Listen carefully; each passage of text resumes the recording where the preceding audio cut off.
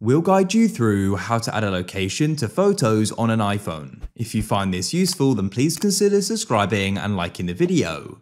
This is super useful to go and do because then when you go and open up the Photos app, you can go and scroll down. You can actually view your photos by map location, which is super cool. So we can go and do this manually and automatically. We'll cover it both in this video. First of all, to go and do it manually, go and click on the photo you want to do this with. Then come down to the bottom of the photo in the middle, you'll see the eye option, go and click there. And what you can then do is go and click on add a location.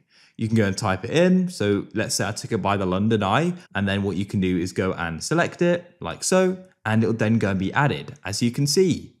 If a photo already has a location as well, what you can do is click on the eye, you can then drag down and you can go over to the right and click on adjust, and you can go and change where it is. If you want to go and have it set automatically, which I really like, then all you need to do is go and open up the settings app like so, scroll down and find privacy and security, then find location services at the top, go and click on camera, and you can go and set it to while using the app. I like to have precise location turned on as well, and then when you go and take a photo, the location will automatically be added. It's that simple.